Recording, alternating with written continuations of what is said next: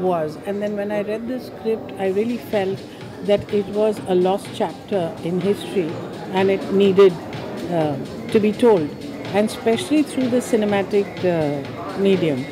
And Queen Victoria feels she's saying something awkward, so Dilip immediately says, she says that tea is very good.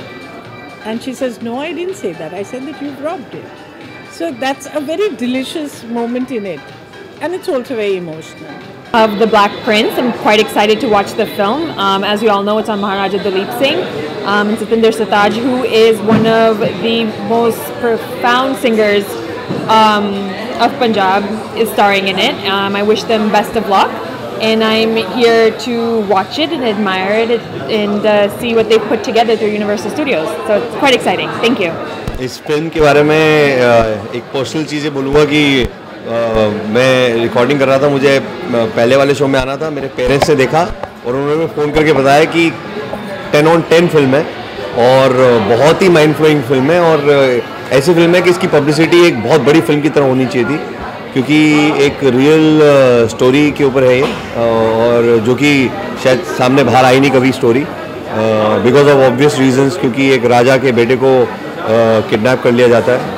तो वो उस ज़माने में इज़्ज़त की बात होती है कि उनको छुड़ा नहीं पाया अंग्रेज़ों के राज से। लेकिन ये एक आज के ज़माने में जो रियल ज़माना है, उसमें सबको हम हिस्ट्री पता होनी चाहिए। और जब मेरे फादर ने और मेरी मदर ने इतनी ज़्यादा तारीफ़ करी कि बड़े सालों बाद कोई ऐसी फ़िल्म आई है एक्स्ट्रॉडनरी फ़िल्म जैसे इस्लाम डॉग मिलीनियर थी, एक एक्स्ट्रॉडनरी फ़िल्म आती है वंस इन वाइल तो मुझे अपनी रिकॉर्डिंग छोड़ के आना पड़ा यहाँ पे। और आके मैंने ये मूवी देखने जा रहा हूँ मैं। The black prince and it's an amazing movie internationally बहुत अच्छा किया है and specially I would like to appreciate Satendra Sartaj जिनका ये डेब्यू है and I am big fan of him और uh, उन्होंने बहुत अच्छा किया इस मूवी में। उसके लिए congratulation to him to Shabana ma'am and thank you दीदी for such a lovely movie thank you so much